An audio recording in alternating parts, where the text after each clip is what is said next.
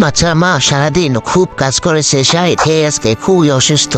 তার জন্য অনেক মায়া হয়। যাক, সে তো প্রতিদিন কাজটি করে। আজকে আমি বাচ্চারার যত্ন দেবো সে একটু রেস্ট নোক। গাইজ তোমরা ফাঁকে চ্যানেলটি অবশ্যই সাবস্ক্রাইব করে রাখবে এবং লাইক কমেন্ট এবং শেয়ার করবে। এ ধরনের সুন্দর সুন্দর নতুন নতুন ভিডিও পেতে তোমরা আমাদের সাপোর্ট করো, তাহলে আরও সুন্দর সুন্দর নতুন নতুন ভিডিও তোমাদের উপর হিসেবে দিতে পারব। তো বাচ্চার মা অসুস্থ, সেই জন্য আমি বাচ্চাটার আজকে খুব যত্ন নিতেছি যে বাচ্চাটাকে খাওয়া সহ সব কিছুর দায়িত্ব আজকে আমি পালন করব। বাচ্চাটার মা কত কষ্ট করে সারাদিন। তো একটা বাচ্চা লালন পালন করতে অনেক কষ্ট রয়েছে তাকে অনেক হিসাব নিকাশ করে খাওয়া দাওয়াকে শুরু করে অনেক যত্ন নিতে হয়।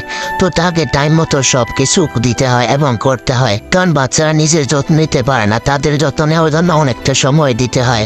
এবং বাচ্চাদের যত্ন নিলে বাচ্চারা খুব সুন্দরভাবে বিকশিত হয়ে ওঠে।